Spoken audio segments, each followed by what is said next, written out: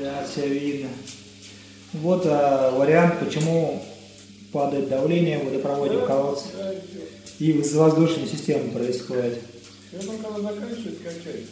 Пошел. В колодец заглянули, уголок не герметичный, бьет струя. Сейчас будем поднимать насос и перекручивать оголовок, заодно смотреть, что там дальше происходит. Это можно даже уже не поднимать. Найдена неисправность, почему падало давление в системе водопровода. Фитинг, э, вот этот уголок 32 ПНД был не герметичный, труба была замята.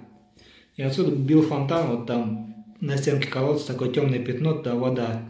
За счет этого падало давление и воздух в системе появлялся. Сейчас мы перекрутили, поставили новый уголок, кусок замятой трубы срезали. Вот. Ну и заодно насос, в принципе, не очень правильно висел. Он висел на, на тросике, который изгибал магистраль. Вот, и магистраль постоянно дергалась. То есть насос висел на ПНД. Вот, мы перевесили, поставили новый хомут. Теперь насос висит на трассу, как должен висеть.